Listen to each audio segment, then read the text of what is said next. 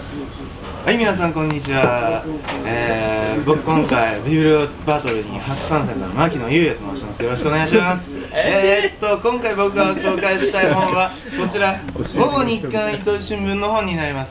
えー、皆さん、ほぼ日刊糸井新聞っていうのは、まあ、いう、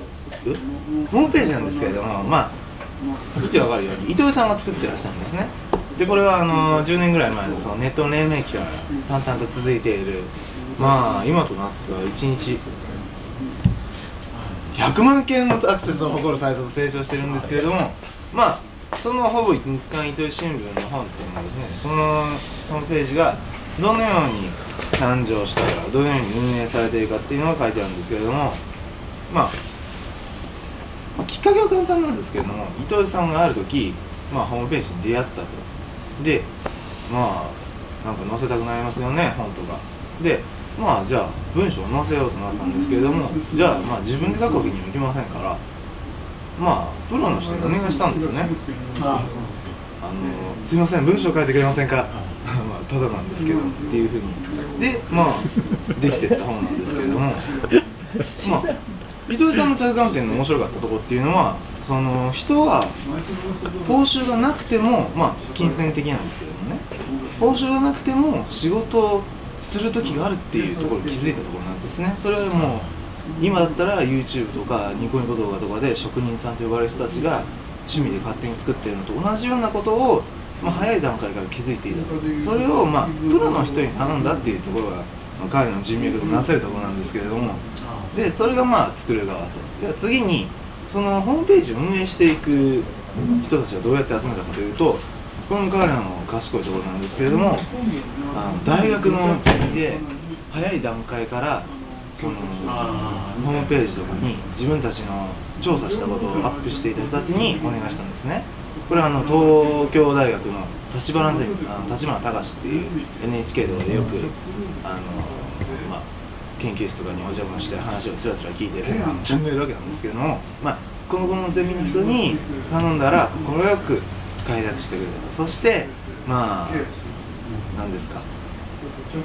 えーまあ、ボランティアみたいな形でやってたんですけれどもただそのまあ実際お金がいるわけでそのお金はどこから出ていたかというと糸井さんが自分この人はもともとコピーライターであのまあジブリの映画とかのコピーライト「生きる」とか「トトロ」のコピーライトとか書いてたんですけどまあそのお金でやってたんですけども最初は赤字だったんですけどもそのだんだんホームページがこう大きくなっていくにつれて、まあ、そもそも1日数百万件のアクセスがあるわけですから、まあ、そもそもそこで何か商品を広告すればものすごい。売れるとそこで自分たちで独自の製品を開発して、まあ、有名なところだと T シャツとか腹巻きとか最近だと成長ですけれどもね。こういうのを作って売り出したりそれで最近はまあ黒字化したとかしないとかそういう噂を風の噂で聞いたりもしませんけれども まあそんな感じで進めしていると思うはい。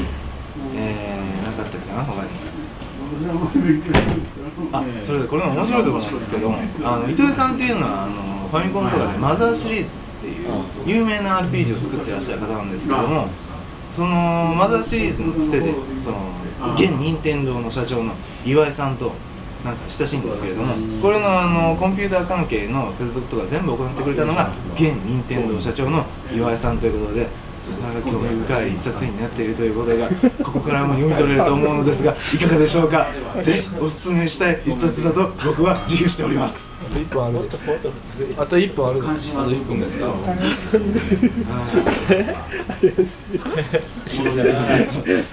なんかお昼の主婦を相手にしてる。なんやろこの不快な感じは。確実に売ってるもん風俗商品やんないやもしくはなんかこう。通販のまあまあああと40秒ありますので行きましらね大逆転で爽やかになった。そう大逆転でもしかしたら放送事故ちゃんと考えてきてよ。さっきまで勢いは？僕がもっともっと普通でいいねえそれ普通のキャラなのそれべき言葉を持ちません僕は。まあそうですね。いいんじゃないでしょうか